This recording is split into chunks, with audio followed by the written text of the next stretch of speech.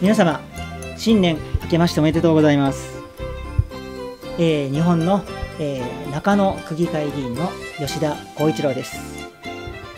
えー、新年をですね、え私もそして、え新東人テレビ大紀元ご覧の皆様も、え共産党独裁中国に収容所に送られもせず内臓も奪われもせず言論も弾圧されずに生きてですね、えー、迎えられたことを心から感謝したいと思います。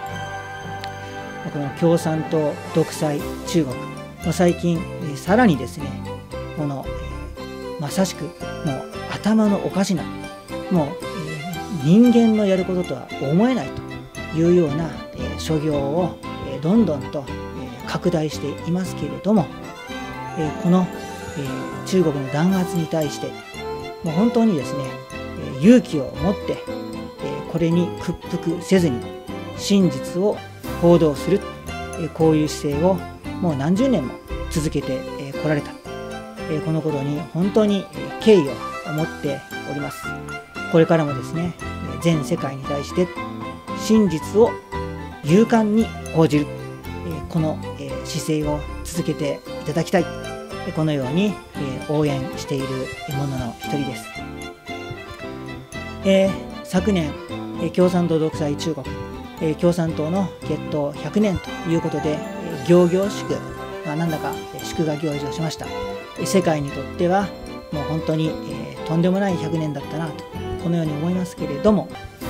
今年の2月には、えー、北京で冬季オリンピックというものを、えー、彼らは開催する予定です。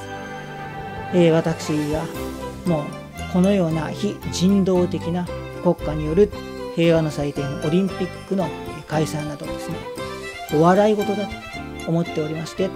ボイコットすべきだと思っておりますけれどもこのオリンピックが終了すると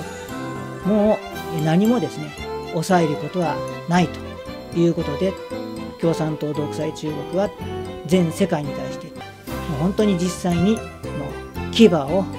う向いてですね踊りかかってくるこういうフェーズに今年が入ってくると思います。ぜひもう世界がこの参加、えこういうことを防げるようにまた皆さんで力を合わせて人類の平和とそして生存そして自由そして繁栄このために手を合わせて力を合わせて取り組んでいきたいと思います。